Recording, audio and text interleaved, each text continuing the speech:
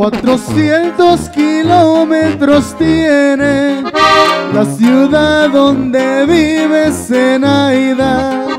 Voy a ver si la puedo encontrar para ver si me da su palabra.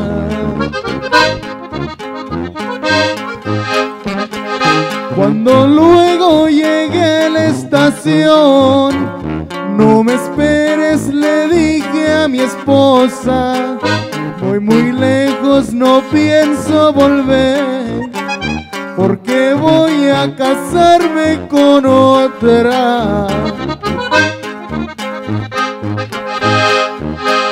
Presuroso llegué a la estación, pregunté por Zenaida del alma, se casó anda de luna de miel, según dice regresa mañana.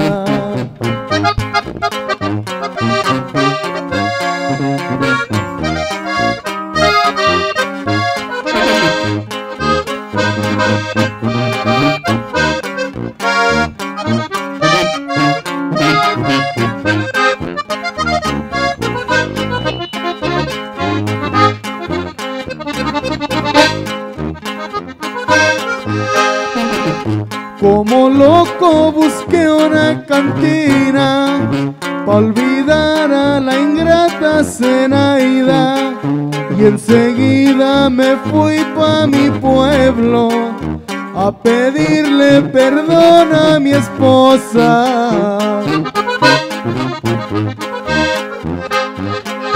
Al mirar una carta en la mesa, de mi pecho se escapa un suspiro. No me esperes, no pienso volver, porque yo ya me fui con Ramiro. Allá viene ese tren pasajero que sin duda me dejó llorando.